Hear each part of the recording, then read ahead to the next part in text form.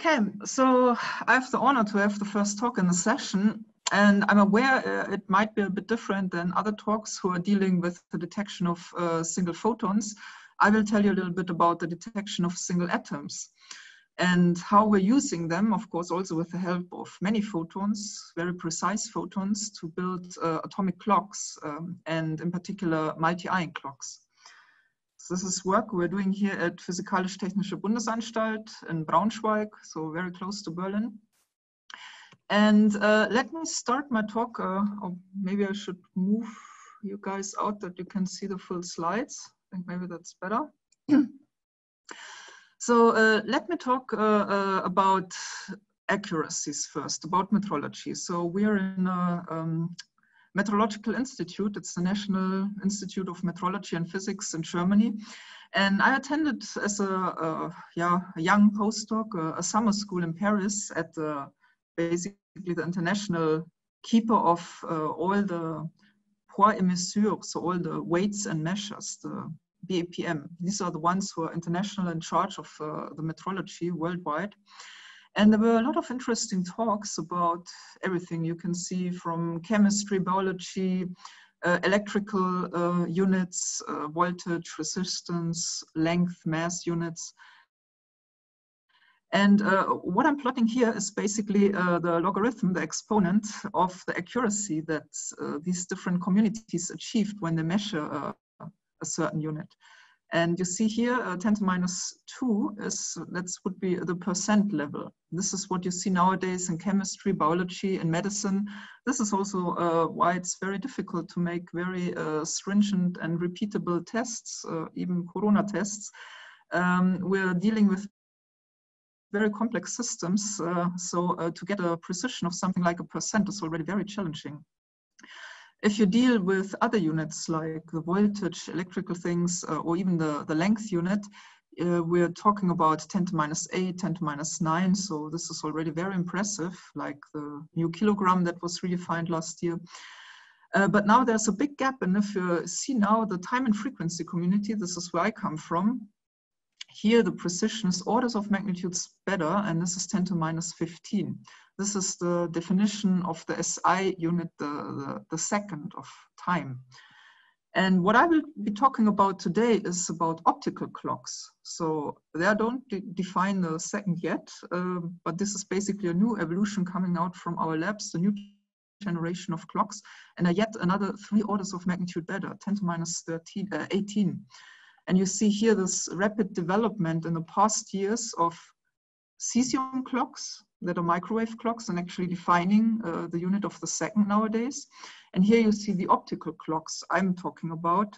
They have an even steeper uh, acceleration basically to lower and lower uh, uncertainties. And we're just now hitting the barrier of 10 to minus 18 in our labs.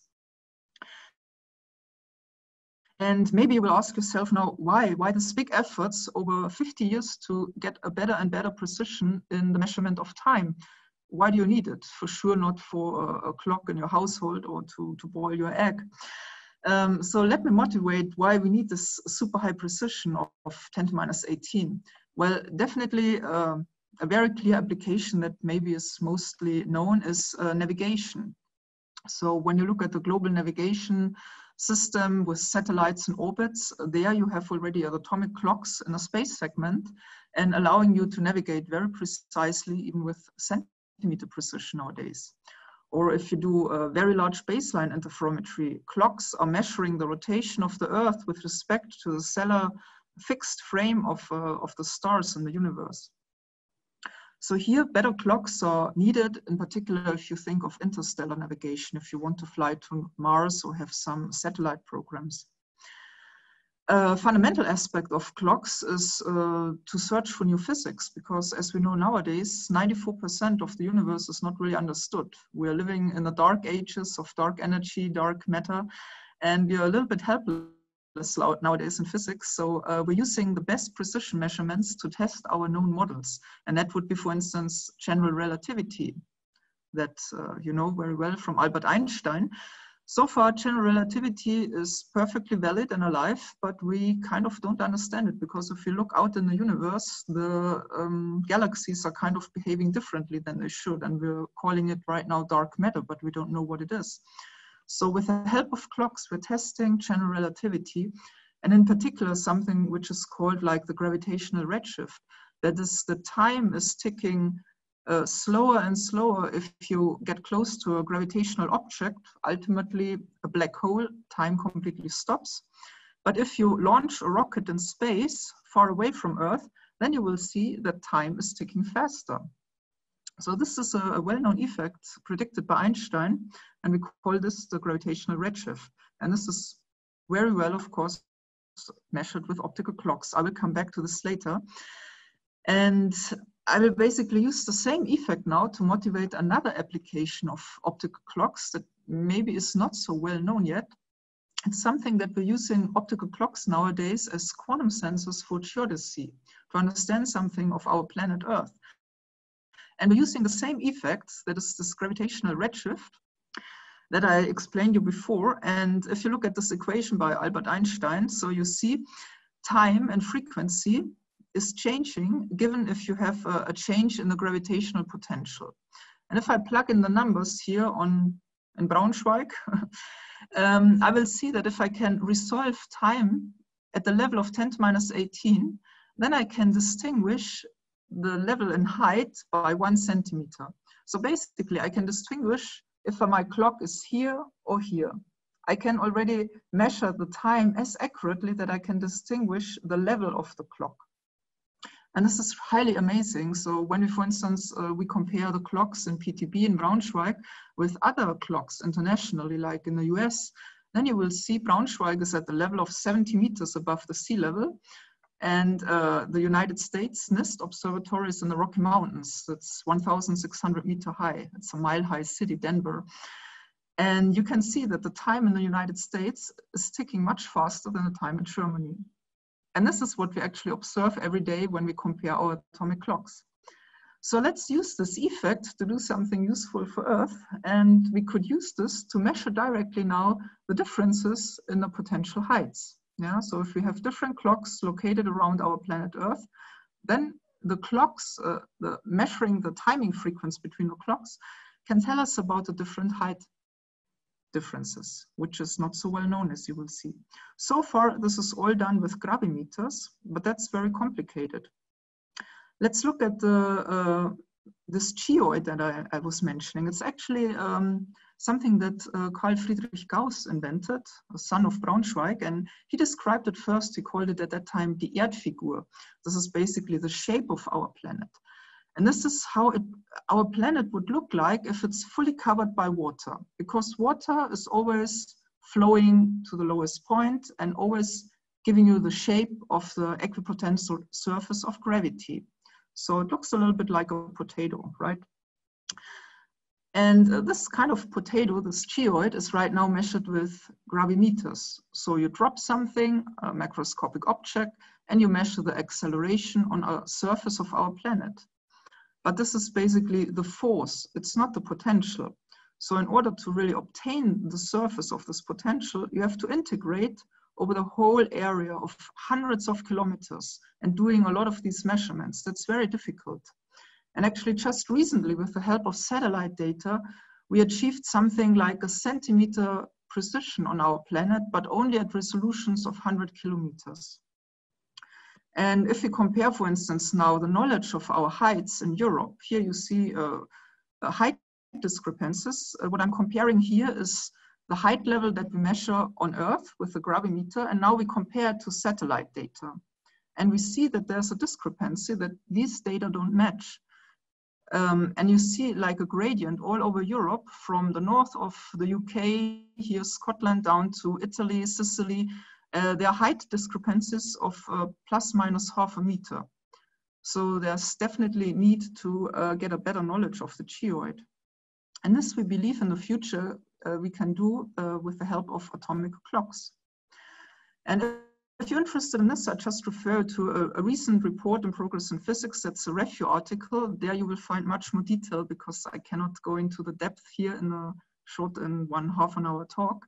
Um, and you can also read about how we're, uh, what would be, for instance, the profit of putting a, an, opto an atomic clock on the top of Zugspitze, the tallest mountain in Germany, which right now is unfortunately shrinking. Something, uh, Zugspitze is losing height by something like one centimeter per year because the permafrost is diminishing. with the climatic change, the global warming, and you will see when you go to the Alps, not, on, not only the glaciers are melting away, but also the permafrost diminishes, and that makes our mountains actually smaller. And such a thing you can only measure actually with clocks and not with gravimeters, because local mass changes like the snow varying height or uh, local water will always disguise the signal. So if you're interested in this, I refer to this uh, review to get some deeper knowledge. I hope that motivated you a little bit why it's not completely insane to uh, always improve the performance of clocks. So 10 to minus 18 is actually something that you can use even in everyday's life. And now I would like to explain you a little bit how we do this. So how does an optical clock work? I was always speaking about this black box, the clock, but what is it? So this is basically how an atomic clock looks nowadays. At the heart of it, you have a laser. We call this the local oscillator. And the laser has a high frequency of something like 1000 terahertz. And it gives you a very nice periodic oscillation. This oscillation you can count and divide it down to one pulse per second. This is something that we can do nowadays with femtolasers, with very good RF electronics, this is a technique that is well established nowadays. Now the challenge is to make this laser, this oscillator really stable, that it's a clock. The laser itself will just drift away. If the air pressure changes, if temperature changes, the laser is not a very stable object. So the first step, we do stabilize the laser on something what we call ultra-stable cavity. That gives us a short-term reference to make the laser stable. And then when the laser is stable on a short term, then we lock it onto the atomic reference, which is the long-term reference.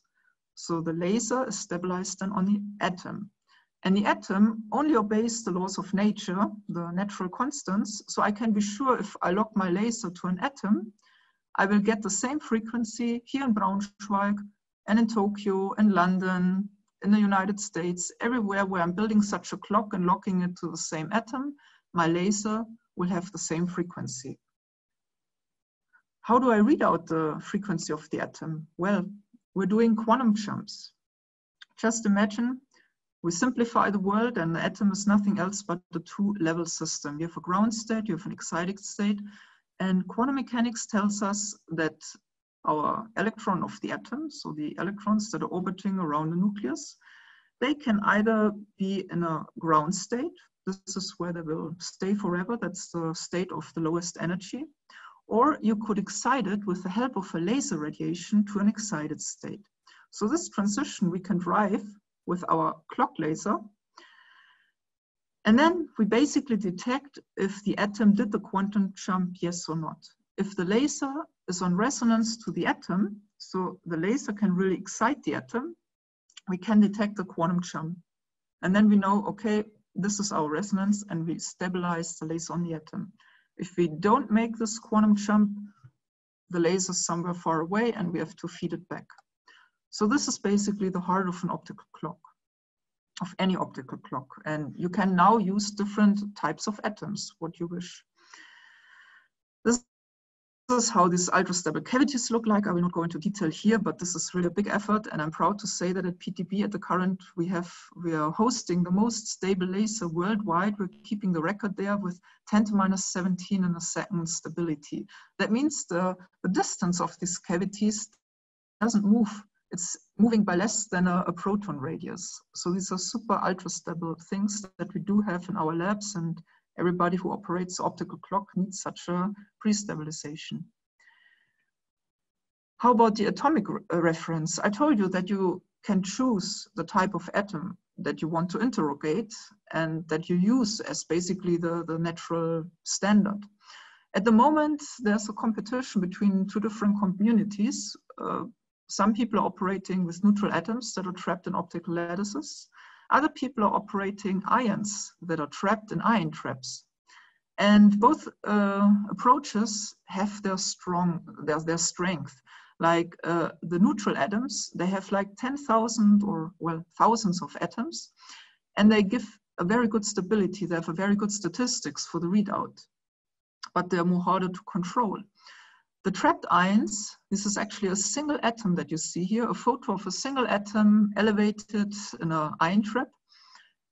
They give the best accuracies. They keep the world record in the highest accuracies of atomic clocks because single ions you can shield very well from your environment yeah you protect them from any influence from outside and ultra high vacuum and you really can look at the single elevated atom so you can imagine you get a very very good precision and accuracy but of course, the statistics, if you compare both one ion compared to many atoms, there's a big drawback. So we're on the weak side here. At the moment, this is like a head-to-head -head race, and it's still not decided who will have the best atomic clock worldwide. Yeah, we're always constantly improving our laboratory clocks. So I will focus here on the ions in my talk, and I will show you here how to trap an ion? Well, this is how an ion trap looks like at PTB. It's actually really macroscopic. It's like uh, such a, electrode shape. And uh, in principle, we cannot trap an ion because no matter what electrode we build, the potential will always look like this. The ion in the, side, uh, in the center of the trap is confined in one dimension. In the other dimension, it's basically unconfined. It's unstable. This is what Maxwell's uh, law tells you. But there's a, a, nifty trick to avoid this. So we just animate now. And you see if you shake your potential fast enough, faster than the ion can move around, you never lose the ion. You just have to shake the potential. And this is what we do by applying a RF voltage. If you apply AC voltages instead of DC, you can basically shake your potential and the ion stays. As simple as that. For this, Wolfgang Paul received the Nobel Prize in 1989. Uh, and this is what we call the Paul trap. It's a, a, simple trick, but extremely powerful and used everywhere nowadays, even for mass filters. So this is how the ion trap looks for a single atom. And uh, what is the special feature about such a trapped ion? Well, it's basically trapped in an almost infinitely deep potential the depth of this potential in units of temperature is 10 to the 4 Kelvin. So the, the ion can stay forever. And at PTB, we have observed lifetimes of up to months. A single ion can stay for several months. And there have been PhD students who did their whole PhD work with only three ions in the whole uh, four years. So you can really give the ion a name, basically, when you trap it um, you have a, a, very strong trapping potential, and that means you can confine your ion uh, to something like a few nanometer. Here I said the, the wave function in the atomic ground state here is, has a spread of only 10 nanometer. So with nanometer precision, I know where is my atom, my ion sitting. And this gives me this ultimate very high accuracy. And to manipulate these trapped ions and to do laser spectroscopy on them, Actually, that was another Nobel Prize that was awarded in 2012, and it was Dave Wineland who received this Nobel Prize for groundbreaking experimental methods that allow to manipulate and measure single quantum systems. So he trapped single ions in such a Paul trap, and he manipulated them with lasers, built some of the first atomic clocks. And also in his group, well, it's competing with our group at PTB, uh, both groups have now achieved the 10 to minus 18 in the setups. Well, um, I will not go into the detail here, don't worry. Uh, just to show you, if you build a clock, you have to think about many, many systematics that can change your atomic frequency. And usually you do you put up such an uh, uncertainty budget, you do some budget keeping. And uh, what I uh, highlighted in red here tells you that the biggest uh, points uh, in terms of uncertainty that are limiting our clock performance nowadays is actually ion trap related. So building a very good ion trap is still a big issue. And another thing I want to motivate here, I spoke about accuracy all the time, yeah, and about the single ion. But actually, how long does it take to really resolve and, and end uh, the frequency? And how long does it take to finish your measurement? Well, we're talking about 10 to minus 18. And here I'm talking now about stability, about the statistics. The best ion clocks right now, this is one second of averaging time, they start on the order of 10 to the 15. So if I measure for one second, I only can get a precision of 10 to minus 15. If I want to get down to 10 to minus 18, the best clocks in our labs nowadays have to measure for 10 to 100 days. And this is quite something, even for a patient metrologist, you really have to average for many weeks until you resolve the 10 to minus 18. And now imagine if you want to use such a clock for something like relativistic geodesy, you want to bring your clock to the Zugspitze, to the mountain, you want to have a portable clock out there in a field, and you have to measure for one, two, three weeks to resolve and get your uh, result, uh, this is very unpractical. So clearly for the ion clocks, there's a big need to improve this and to get a better stability and a better statistics.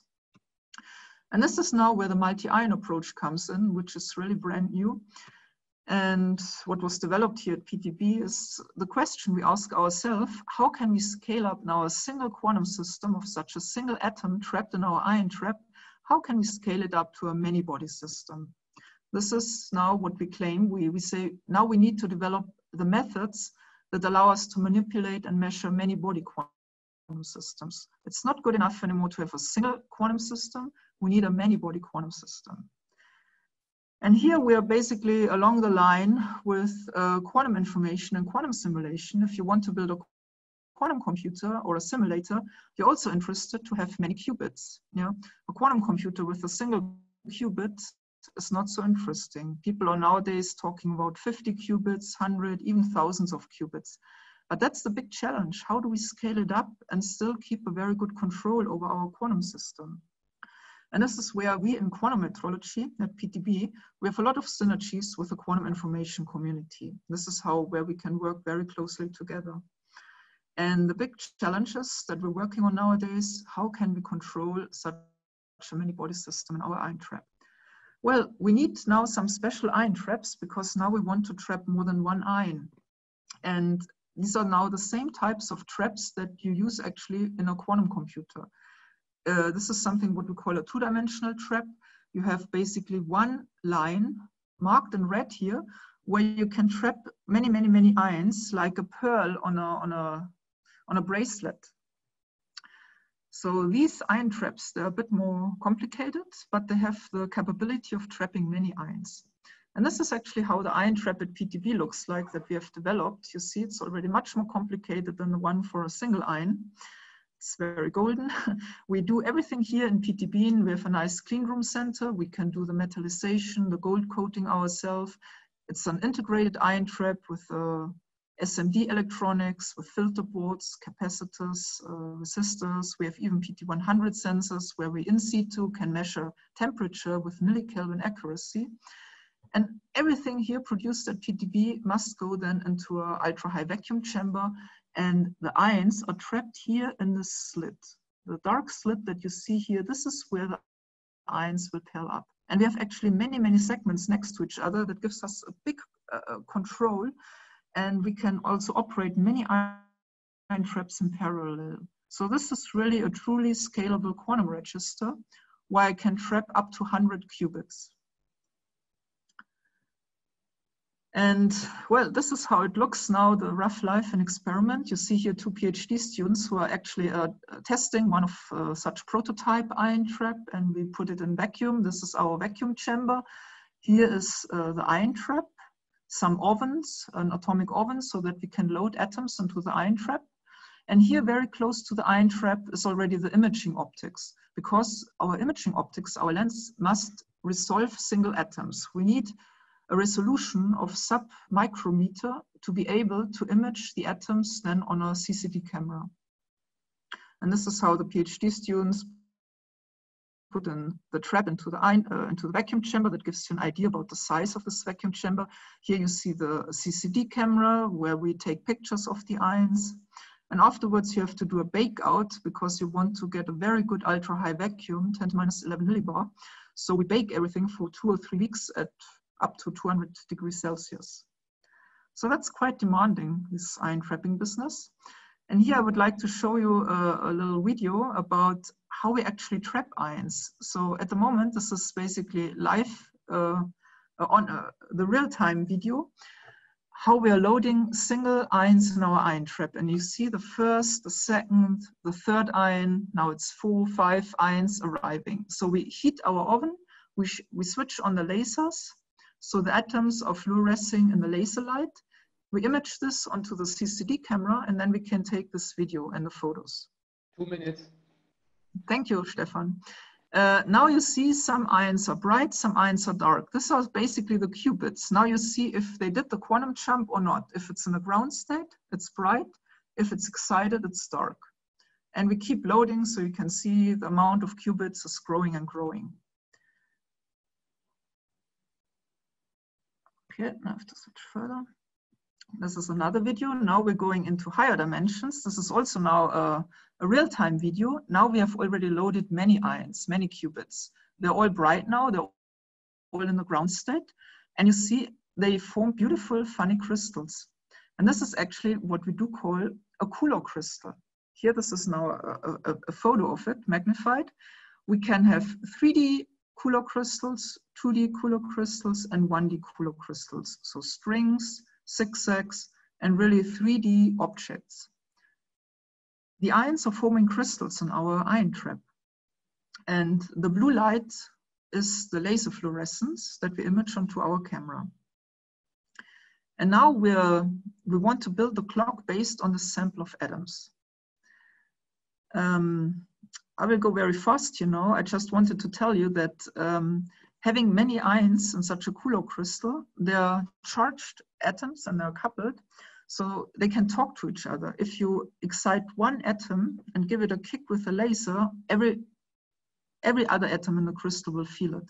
And this is what we call the bus mode of a quantum computer. So there we have really, again, the similarity with uh, the quantum computer and what we do in clocks. And here you see, for instance, the bus modes of the ions. This is our real photos how ions are oscillating in the trap. Here you see a breathing mode, a common mode, an Egyptian mode. These are eigenmodes of trapped ions. Each blob here is an atom that is shaking and oscillating, and you see how they talk to each other. And based on this ion trap that we have developed at PTB, we have already demonstrated now, just last year in 2019, that we can actually control even this complicated Coulomb crystals at the level of 10 to minus 19. So our error budget here is at the level of 10 to minus 19. And this is very um, yeah, exciting now that we really can make the major leap forwards and build an actual clock based on these Coulomb crystals. So uh, let me just summarize at the outlook now what we're planning to do in the future. We're improving now our trapping platform, like uh, here it was OptiClock, a BMBF um, project, where a typical ion clock at PTB, messy like this, is actually transferred in a cleaned up uh, uh, two racks. And we developed an ion trap for it. This is a very compact ion trap for this optic OptiClock. You see here Euro next to it, where we can trap now many, many ions, many qubits, and operate it in parallel. So this is how this integrated ion trap looks like. But here only electronics is integrated. In the future, we also want to integrate optics, and this is our vision for the future.